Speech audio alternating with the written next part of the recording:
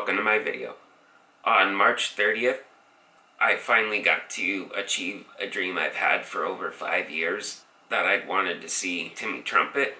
His lineup has, including him, there's three Australian EDM artists, all from Australia, which is kind of rare to have all three artists from the same country. There was DJ Restricted was his first opener.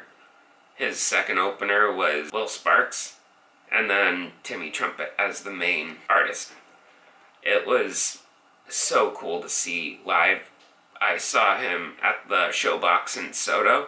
By the time Timmy Trumpet came on stage, we were packed in like sardines. Like people were trying to force me out of my spot. Like I had to basically stand my ground to stay where I was because I was like two, three people away from the front. And it was such a cool experience. And I loved seeing Timmy Trumpet live and just finally getting to see him. It was a dream come true and something I will not soon forget. But my next dream is to see Timmy Trumpet at Tomorrowland.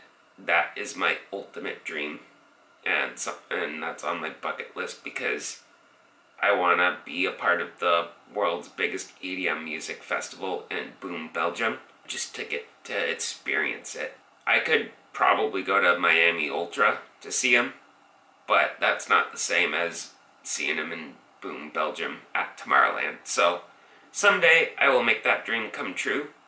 I hope you guys enjoyed this video about me seeing Timmy Trumpet, and someday, if you ever check him out, I'd highly recommend him. I hope you guys enjoyed this video, and don't forget to hit the bell icon down below so you can be notified when I upload videos. Also, please share this video with your friends and family, and don't forget to subscribe to my YouTube channel, and don't forget to smash the like button. Thank you guys for watching, and if you ain't dreaming, you ain't living. Don't forget to dream big.